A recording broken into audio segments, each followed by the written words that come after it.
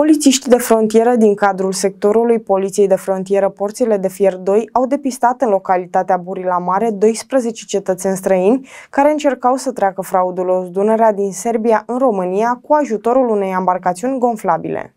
Imediat persoanele în cauză au fost conduse la sediul sectorului pentru verificări, unde li s-a făcut triajul epidemiologic. În cadrul primelor verificări, polițiștii de frontieră au stabilit că cei în cauză sunt cetățeni din Irak, Siria și Tunisia, șase adulți cu vârste cuprinse între 22 și 35 de ani și șase copii cu vârste cuprinse între 7 și 12 ani. La nivelul sectorului, Poliția de Frontieră Porțile de Fier 2 a avut loc o acțiune privind prevenirea și combaterea migrației legale în zona de competență.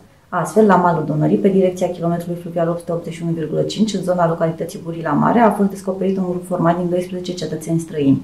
În cadrul primelor verificări, polițiștii de frontieră au stabilit că cei în cauză sunt cetățeni din Irak, Siria și Tunisia, șase adulți cu vârste cuprinse între 22 și 35 de ani și șase copii cu vârste cuprinse între 7 și 12 ani. De asemenea, în cadrul cercetărilor, cetățenii străini au declarat că au trecut frontiera din Serbia cu o embarcațiune gonflabilă cu motor, condusă de unul dintre ei. Polițiștii de frontieră efectuează cercetări sub coordonarea procurorului din cadrul parchetului de pe lângă judecătoria Drobeta domnul Severin pentru depistarea tuturor persoanelor implicate și pentru a stabili întreaga arie infracțională, la finalizare urmând a fi dispuse măsurile legale care se impun. Polițiștii de frontieră efectuează cercetări sub coordonarea procurorului din cadrul parchetului de pe lângă judecătoria Drobeta Turnu Severin pentru depistarea tuturor persoanelor implicate și pentru a stabili întreaga arie infracțională, la finalizare urmând a fi dispuse măsurile legale care se impun.